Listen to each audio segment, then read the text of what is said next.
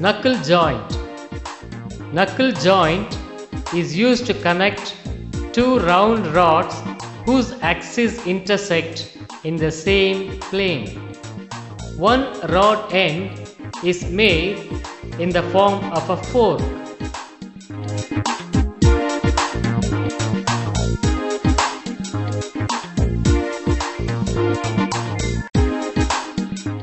The other rod end is in the form of an eye.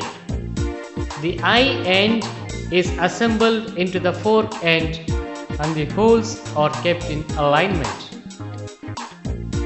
The cylindrical pin that is used to fasten the fork end with the eye end is inserted into the hole. This pin has a taper hole at the lower end of the shank to carry the taper pin.